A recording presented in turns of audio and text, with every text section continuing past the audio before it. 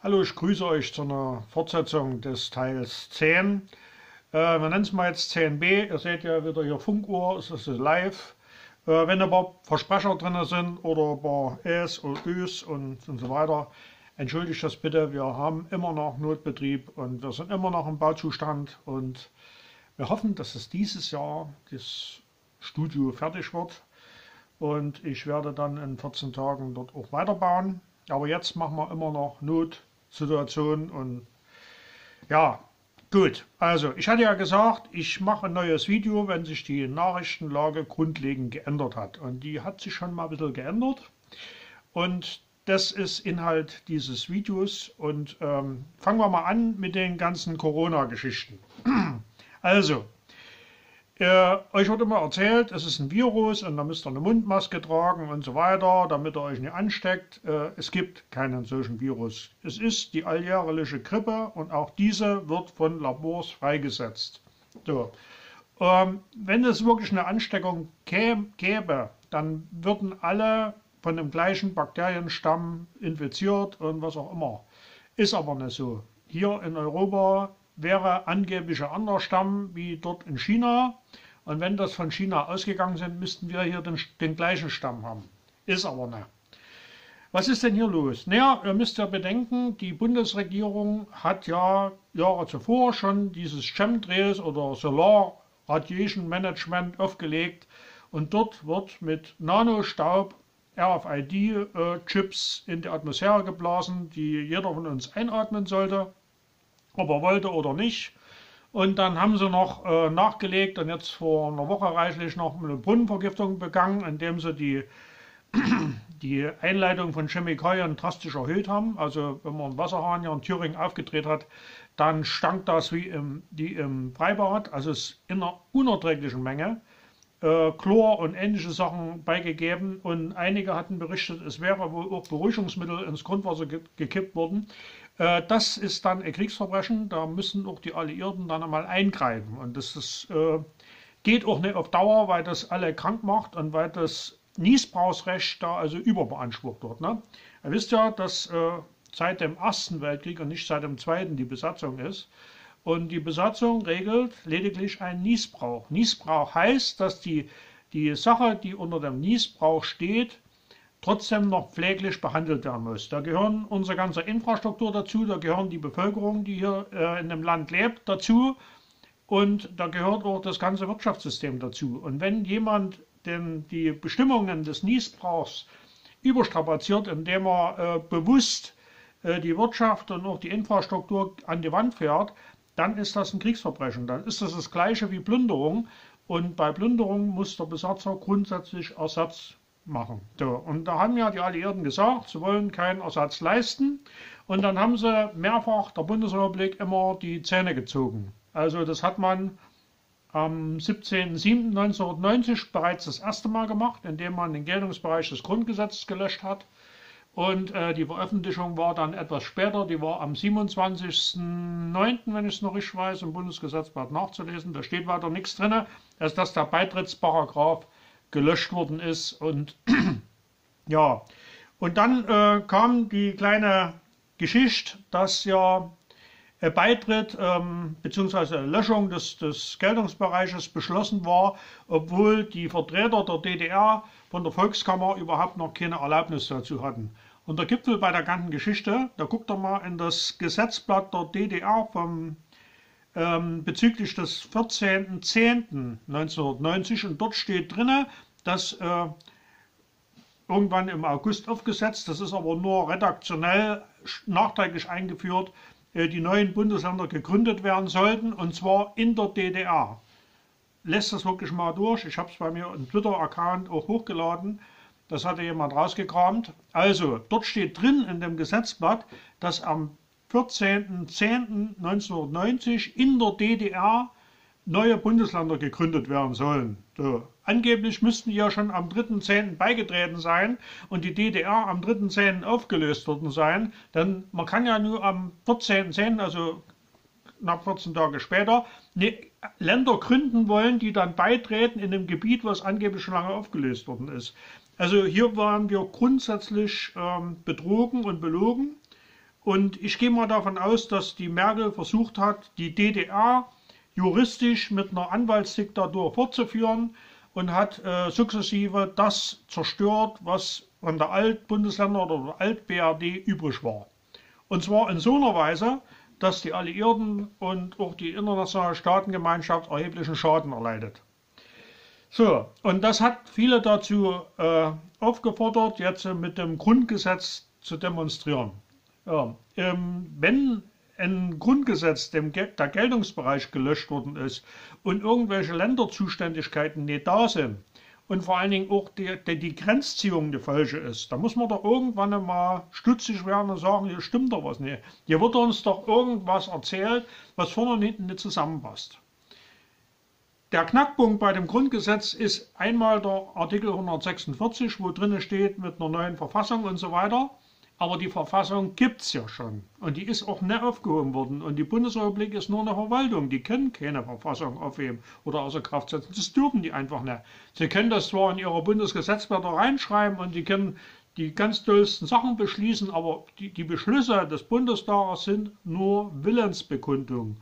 Die haben keinen wirklichen Effekt auf den Staat, weil die Bundesrepublik und alles, was da hier noch rumfleucht, alles nur im Niesbrauchsrecht des Kaiserreichs besteht. So, das Kaiserreich selber darf nicht geschädigt werden. Das heißt, wenn hier Steuern erhoben werden, müssen die Steuern dem Kaiserreich zugutekommen und dürfen nicht äh, dem Besatzer über drei Ecken noch zusätzlich äh, einen Vorteil verschaffen. Und genau das ist nämlich hier passiert. Die, die Alliierten haben im Prinzip durch Befehl ähm, Bundes, äh, Altbundesländer gegründet und die in den Nationalsozialismus geschickt. Das ist dem Besatzer aber nicht erlaubt, weil die müssen sich schon an die internationalen Regeln halten und die internationalen Regeln halten, dass von dem Tag an der Besatzung es keine Grenzzurückung mehr gibt und dass das Landrecht zu gewähren ist. Und das Landrecht ist eingesetzt worden am 28.10., nämlich genau an dem Tag, wo der Putsch passiert ist, wo sie den Kaiser mit Morddrohung aus, aus dem Land gejagt haben. Dass der dann ein paar Stunden gebraucht hat, um die Grenze zu erreichen, das ist unerheblich. Äh, Fakt ist, dass der Max von Baden an dem 28.10.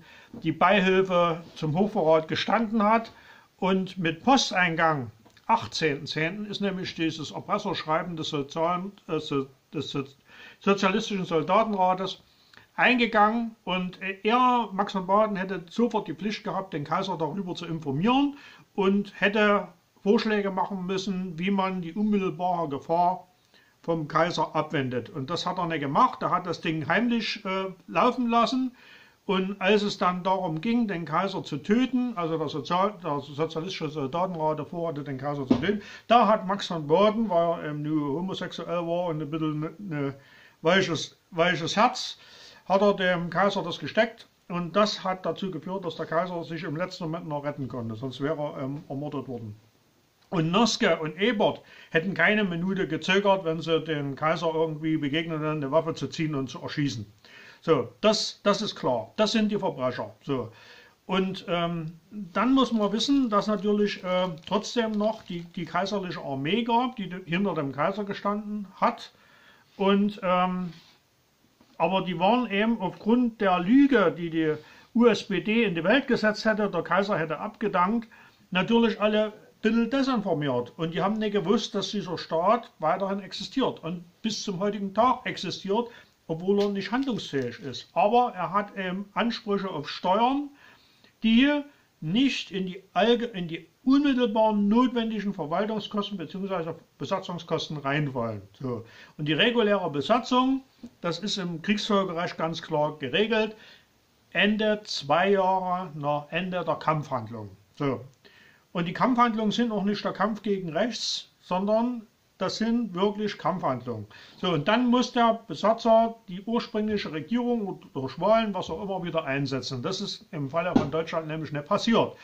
Und weil das nicht passiert ist und weil die USA hier eindeutig ihre, ihre Rechte überschritten haben, ähm, ja, entsteht dann ein, der, Sach, der Tatbestand der Plünderung und die müssen dann einen Schadenersatz leisten. Zumindest für die zu viel eingezogenen Steuern. So, weil eher die Steuern nicht der Bundesrepublik zugutekommen dürfen, weil sie ja Teil der Besatzung sind, sondern die müssen dem Staat zugutekommen. Das heißt, alles, was nie, keine notwendigen Verwaltungskosten sind, müssen an den Staat abgeführt werden. So, und jetzt hat natürlich ähm, die, die linksgrüne äh, Parteilandschaft versucht, diese, diesen ständig wachsenden Kontenbestand, der auf dem kaiserlichen Konto, der zu, auf, dem Kaiser, auf das kaiserliche Konto gehört, zu plündern und hat das in alle Welt verschenkt, das Geld, dürfen sie aber nicht. Sie, sie haften privat unbeschränkt für alles, was nach den Regeln der Hager Landkriegsordnung unrechtmäßig an Dritte veruntreut worden ist. So. Und die Größenordnung, über die wir hier reden, das geht in die Billionen. Und das sind keine amerikanischen Billionen, was ja nur Milliarden sind, sondern wirkliche Billionen. Also es ist mindestens ein zweistelliger Betrag.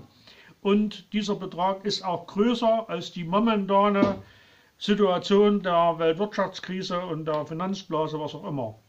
So, das heißt, wenn man die Situation von einem Tag auf anderen ordnungsgemäß regeln will, dann müsste man zunächst erstmal die die Steuern, die dem Kaiserreich zustehen, erstmal wertstellen und davon alles abziehen, was die Bundesrepublik unrechtmäßig irgendwo hingeschafft hat. Und das entstehen, daraus entstehen Forderungen, die das Deutsche Reich gegen den Staat hat, der die Gelder vereinnahmt hat. Ne? Ob das verschenkt worden ist, ob die, die U-Boote, die da verschenkt worden sind, oder die Migrantenströme, die da reingelotst worden sind, um, die, um den Staatshaushalt zu plündern, das ist erstmal egal. Der, der Besatzer ist derjenige, der die, der die Macht in dem besetzten Gebiet ausübt und der hat letztlich in aller letzter Konsequenz die Verantwortung dafür, was die Bundesrepublik tut und unterlässt. So, das ist der große Punkt. So, und als bevor Trump überhaupt Präsident wurde, hatte er sich ähm, ja, mit dem militärischen Geheimdienst der USA beraten und die haben eine Art internen Kassensturz gemacht. Was wäre, wenn es wirklich zum Default der USA käme, also zum Staatsbankrott? Ähm, und hat natürlich alles aufsummiert, äh, auch die, die, die Wertschöpfung in den, in den besetzten Gebieten und so weiter. Und er ist zu dem Schluss gekommen, dass man diese Situation nicht auf ewige Zeiten hinauszögern kann. Weil irgendwann man die Wirtschaft selbst mit massivsten Gelddrucken nicht wieder zum Laufen kriegt. Und damit das nicht jedem klar wird und vor allen Dingen auch nicht die Schuldigen ins Rampenlicht zieht, hat man diese Corona-Krise erfunden als, als Sündenbock dafür, dass ständig nur mit der Druckerpresse Werte erzeugt worden sind. So, und richtig extrem wird es natürlich, wenn man die ganze Welt in einen Lockdown schickt, sodass also wesentliche Teile der Bevölkerung kein Bruttoinlandsprodukt mehr erzeugen und äh, es eine massive Ausweitung der Schulden gibt, also die Wirtschaft regelrecht zerschlagen wird und ähm, dann im Prinzip dieses ganze Lügengebilde innerhalb von Wochen sozusagen auseinanderbricht. Wir hatten also jetzt schon wieder einen Crash im Ölmarkt und äh, das war nicht durch die Futures, äh, äh, Future-Kontakte äh, begründet, sondern einfach deswegen, weil massiv äh, Druckergeld, also man sagt auch Helikoptergeld in den Markt gepumpt worden ist und äh, auf, Kontrakt, auf, ähm, auf einen Verbrauch von Öl spekuliert worden ist, der dann nie eintritt und deswegen natürlich dann äh, die Kontrakte, wenn sie auslaufen, dann erfüllt werden müssen. Und das hat dazu geführt, dass also dann ein negativer Preis erzeugt worden ist. Das ist also eine wirtschaftliche Unmöglichkeit, aber es ist nun mal so. Ja, der, der, Vertrag muss erfüllt werden. Und da haben die also vielen ähm, noch Geld angeboten, damit sie denen das Öl abnehmen. Das ist also eine völlig äh, unvorstellbare Situation und noch viele, die da also Geld angelegt haben und gedacht haben, naja, also unter den Herstellpreis fällt das nicht.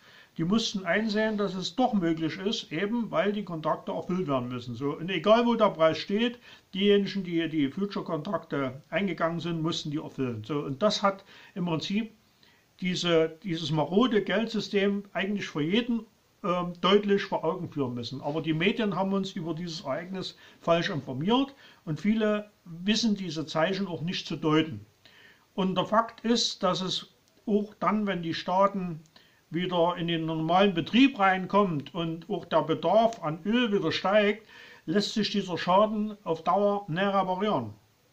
Es ist also damit zu rechnen, dass es jetzt zu einer Umschichtung kommt, weil die Federal Reserve jetzt das Problem hat, dass er Haufen Assets äh, in ihren Bilanzen stehen hat, die physisch nicht mehr vorhanden sind. Also wenn zum Beispiel da steht, ähm, es ist ein, ein äh, verliestes, äh, verliestes Feingold. Moment, muss ich mal kalibrieren. Äh, verliestes Feingold und dieses Feingold aber eben nicht da und viele dort Wertpapiere darauf errichtet haben, aber letztlich, wenn es darum geht, mal die Assets auf den Tisch zu legen, die physisch nicht mehr vorhanden sind. Also das heißt, weder Gold geliefert werden kann, noch dass es gezeigt werden kann, wem das wirklich gehört und wer überhaupt das Recht hätte, das zu verließen oder zu verleihen, was auch immer. So, und da ist rausgekommen, dass die Federal Reserve im Prinzip die Hosen runterlassen musste und dann wurde sie sozusagen von der Treasury übernommen. So, und die Treasury macht es weiter nichts, als dass sie jetzt noch einmal die Kreditgeldsumme auf, auf ein unmögliches Niveau angehoben hat und versucht jetzt mit diesem Helikoptergeld Assets zu kaufen in der, in der Welt. Dass es natürlich dann schief geht und dass dann die Preise durch die Decke gehen, kann man sich vorstellen, weil ja dieses Geld nie gearbeitet hat. So. Und man versucht also diese, diese grundlegenden Schieflagen in dem Finanzsystem im Virus in die Schuhe zu schieben, der real nicht existiert. Und äh, jetzt hat im Prinzip äh, der Präsident von Tansania die Sache mal auf die Spitze getrieben und hat äh, festgestellt, dass diese ganzen Corona-Tests im Prinzip äh, bei einer Fehlerwahrscheinlichkeit von 50 Prozent überhaupt keine Aussage liefern. Man könnte also praktisch auch einen Würfel nehmen und einfach würfeln und alle geraten äh, Zahlen wären dann Infizierte und die anderen äh, ungeraden die nicht Infizierten und dann schreibt man einfach das Test aus und schickt das, schickt das Ding zurück. Und nichts anderes macht dieser Test, weil er überhaupt nicht wirklich testen kann, weil das äh, totaler Betrug ist.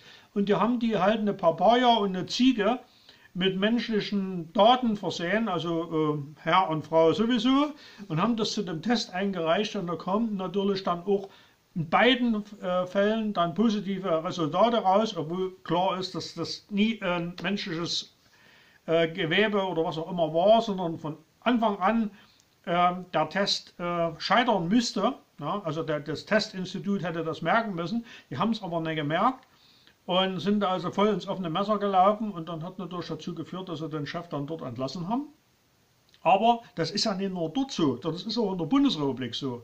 Und das Fantale an der Geschichte ist, sie haben in der Bundesrepublik die Altenheime heimgesucht mit diesen unsicheren Tests und haben äh, Leute, die ähm, überhaupt nicht getestet war, zu Leuten gesperrt, die angeblich Corona-positiv ge gewesen sind. Und zwar zwangsweise. Und zwar ohne, dass die, dass die ähm, Verwandten davon erfahren haben. Möglicherweise auch heimlich Impfungen gesetzt, beziehungsweise die Luft verpestet. Und ähm, dann noch zusätzlich mit äh, 5G und ähnlichen äh, Sachen dort wirklich Krankheitsverläufe erzeugt, aber die sind eben nicht durch das Virus, sondern eben durch die massive Strahlung, durch diesen Nanostaub, der in die Luft geblasen wird und durch viele andere Faktoren, unter anderem eben auch Impfschäden. So, also man hat versucht, die Statistik zu fälschen, um diese Maßnahmen, die man jetzt macht, also die Bürgerrechte entziehen, zu rechtfertigen. So, und das ist höchst multikriminell. Das ist nicht nur einfach schlimm und, und verbrecherisch, das ist multikriminell. Und ähm, das sind ganz klar während der Besatzungszeit auch Kriegsverbrechen. So, und irgendwann muss dann der Besatzer mal sagen, das geht so nicht. Leute, ihr habt hier was aufgezogen oder was aufgebaut, was nicht das ist, was es wirklich eben, also das sich anders darstellt, als es tatsächlich ist. Und dazu kommt dann noch diese riesengroße Anzahl von unterirdischen Bunkern, wo äh, Kinder und äh, Jugendliche verschleppt werden und dort ähm, die Organe geplündert werden, beziehungsweise denen dann unter schwerer Misshandlung Blut entnommen worden ist, um da bestimmte äh, Drogen zu generieren aus diesen Sachen. Also das Thema Adenochrom, ich hatte es schon mehrfach angerissen.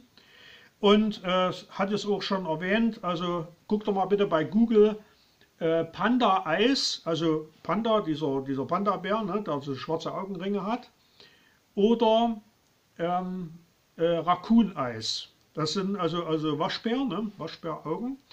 Und äh, das sind Blutungen und ähm, durch schwere äh, Misshandlungen, die dann im Prinzip in der Augenhöhle Blutergüsse ergeben und eben diese dunklen Augen erzeugen. Also durch ähm, äh, schlimmste, sind schlimmste Verbrechen, ich sag's mal so. Und in den USA ist es eben dort einfach nur unter dem Sammelbegriff Human Trafficking äh, gelistet. Aber es ist eine Größenordnung, äh, wo man sagen kann, ähm, bei 40.000 unterirdischen Bunkeranlagen, die nicht im natürlichen Bergbau oder was auch entstanden sind, dann muss der Besatzer eben eingreifen. Und das ist eben das, worum es hier bei der ganzen Corona-Geschichte geht. Es geht darum, so wenig wie möglich Menschenansammlungen zu, ähm, zu erzeugen, damit man äh, die Schuldigen, die für die Verbrechen verantwortlich ist, ähm, denen keine Rückzugsmöglichkeiten und keine Ansatzpunkte für Terrorakte öffnet.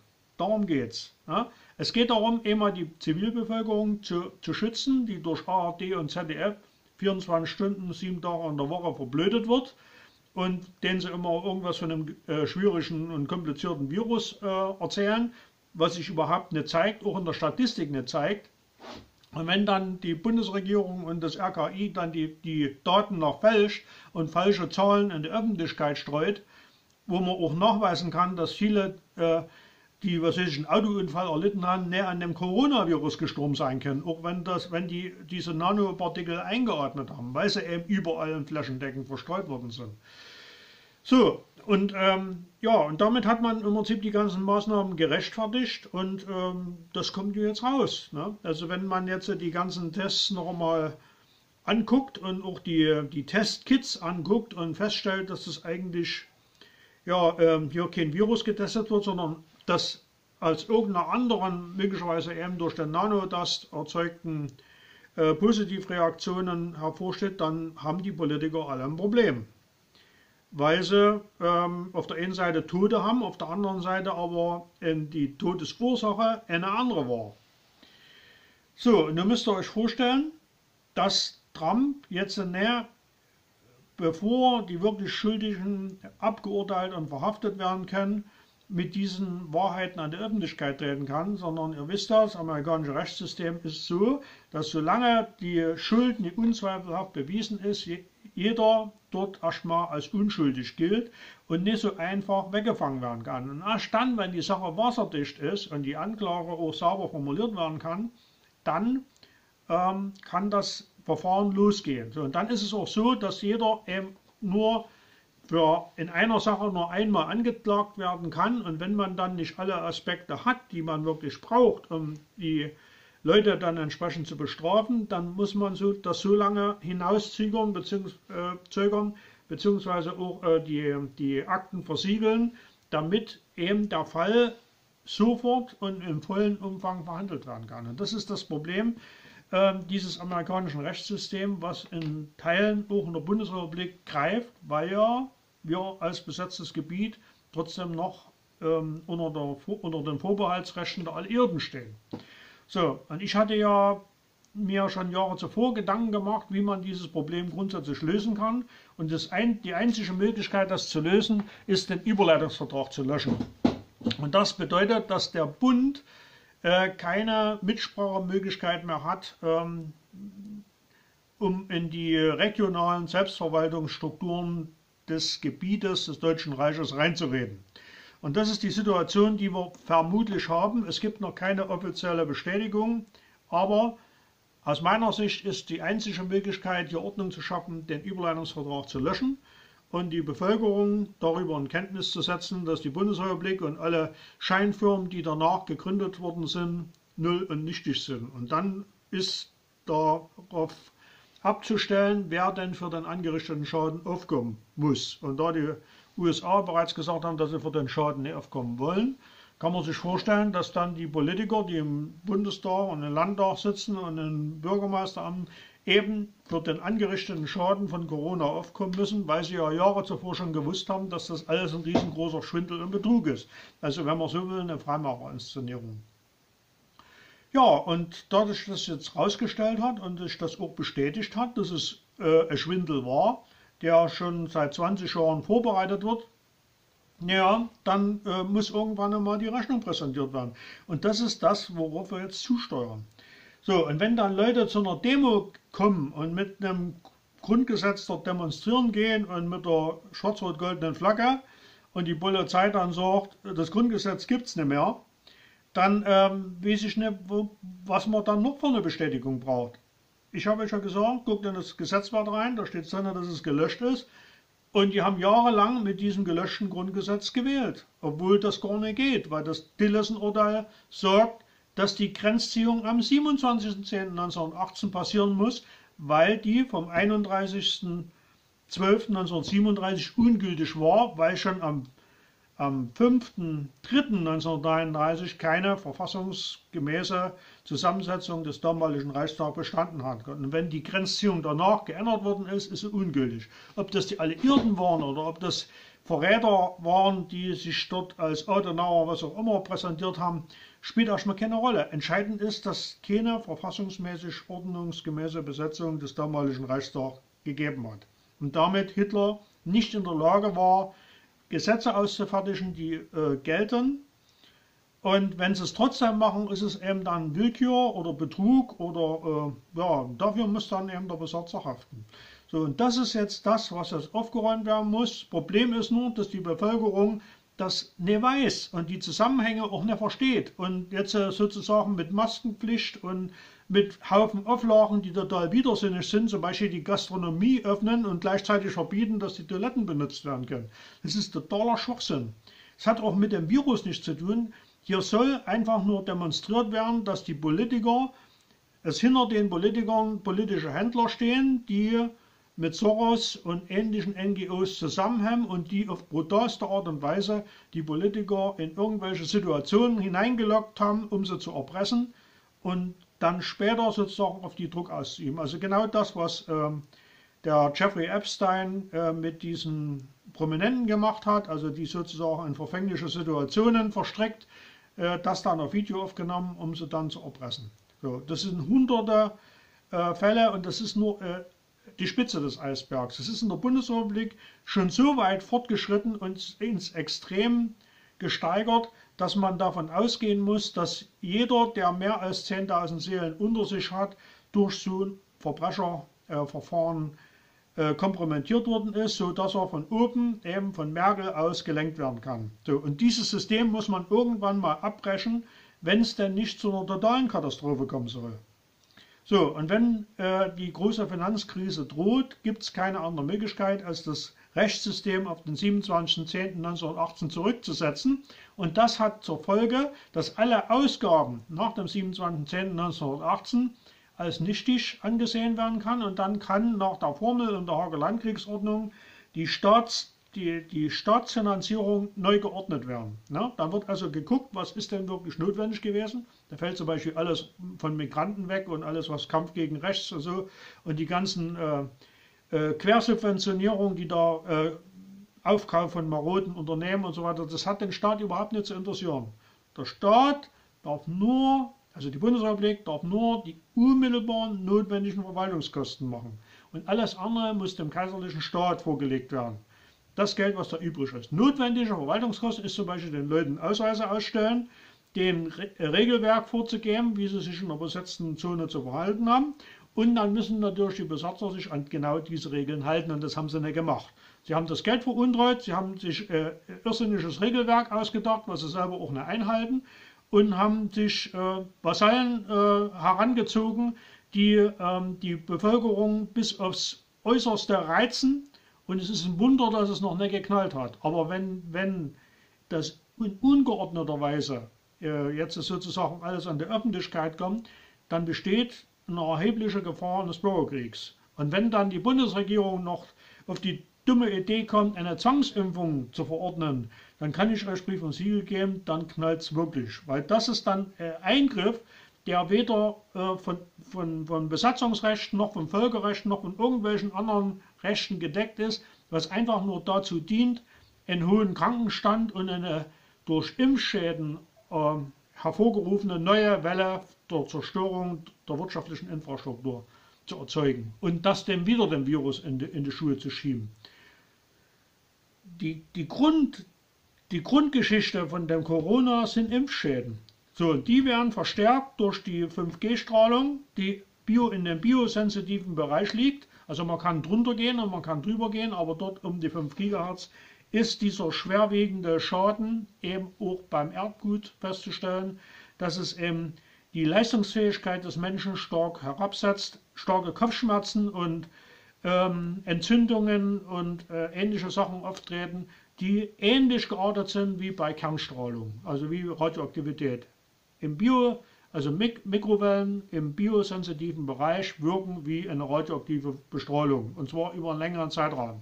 Und deswegen hat die Bundesregierung es darauf angelegt, das 5G bis auf die letzte Milchrampe auszubauen mit dem Vorwand, mit, äh, mit dem Vorwand dort das Internet zu stärken, aber darum geht es nicht. Es geht darum, diese bereits eingeatmeten Nanostäube zu aktivieren, damit die durch die starke Strahlung sozusagen eine Antwort geben. Und damit kann man sozusagen die Menschen mit, äh, vom Satelliten aus orten und das dient genau dem Grund, dass die Menschen eben diesen Sicherheitsabstand von anderthalb Meter halten sollen, damit der Satellit die Leute einzeln sehen kann. Weil muss man sich vorstellen, da ist natürlich ein paar hundert Kilometer Höhe und da kann man nicht auf einen Millimeter genau auflösen, aber es geht eben auf einen Meter genau. Und wenn die Leute anderthalb Meter oder zwei Meter auseinander stehen, dann kann man eben durch die Anregung hier dieser starken Strahlung eben vom Satelliten aus diese, ähm, den Nanostaub, den wir über Jahre ein, einatmen mussten, ähm, ansprechen und er antwortet dann auch über entweder über das Mobiltelefon oder irgendwelche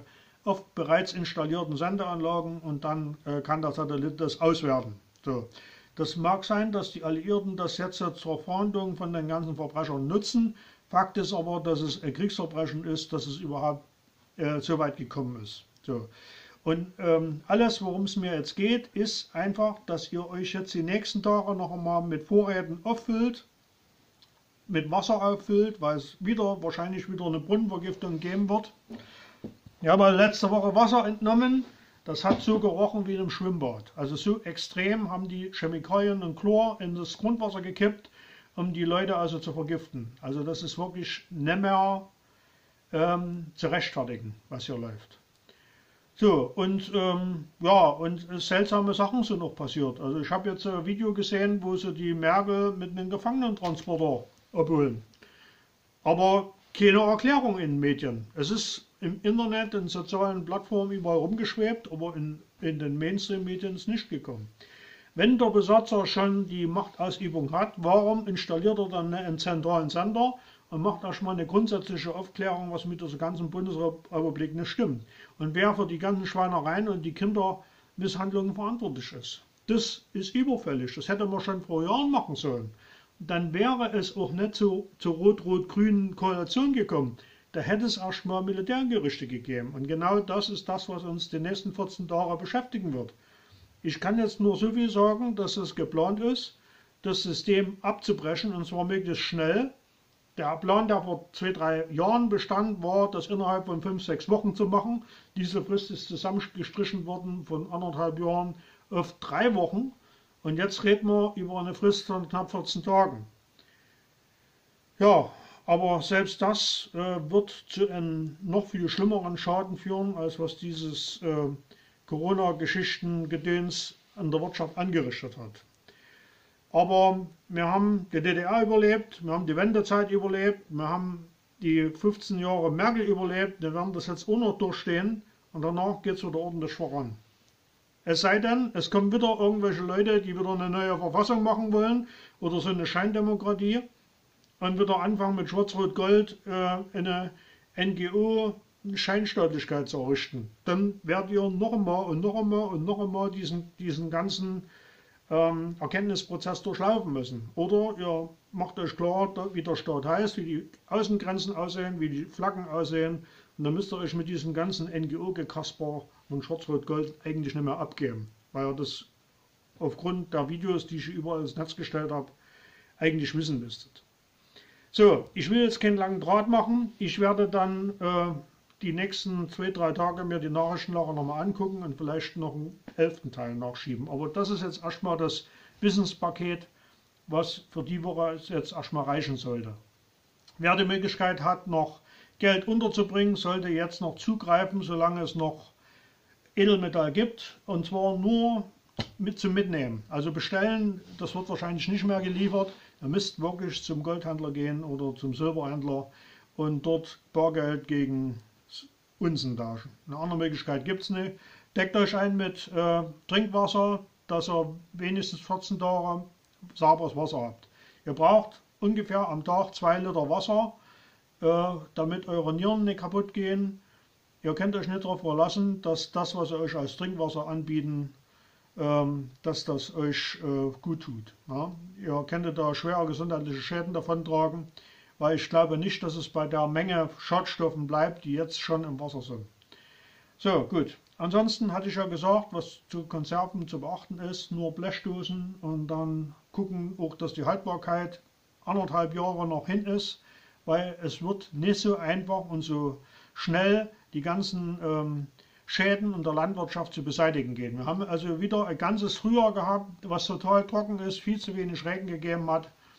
Äh, ich habe mich darüber gefreut, dass die Chemtrail-Aktivitäten stark zurückgefahren worden sind, aber mir hat jemand erzählt, man kann das nicht sofort stoppen, weil diese ganzen Substanzen noch äh, in der Atmosphäre sind und wenn man das sofort aufhalten würde damit, dann käme es zu einer extremen Trockenheit, da würde eine Hungersnot entstehen, die könnte nicht mehr bewältigt werden. Das heißt, man müsste also diese, diese Konzentration langsam zurückfahren, sodass sich die normale Wolkenbildung und der normale Niederschlag wieder normalisiert. Aber wer jetzt die letzten Tage mal den Himmel beobachtet hat, hat festgestellt, dass das Himmelsblau schon mal durchkommt und dass dieser weiße Schleier, der ja durch die Chemtrail-Wolken erzeugt worden ist, erheblich nachgelassen hat. Aber was zugenommen hat, ist eben diese Hauptstrahlung, sodass man also immer noch mit massivster ja, Mikrowellenbestrahlung hier leben muss, was zu Kopfschmerzen, unruhigen Schlaf und Ähnlichem führt. Ich hoffe mal, dass der große Zampano das Geschehen im, unter Kontrolle hat und dass er auch diese letzten äh, Eingriffe in unsere persönlichen Freiheiten äh, so weit zurückfährt, wie es unbedingt notwendig ist. So, gut, dann sehen wir uns die Woche nochmal, vielleicht mit dem Teil 11. Ansonsten würde ich jetzt erstmal das Wissenspaket beenden wollen. Ich danke für eure Aufmerksamkeit.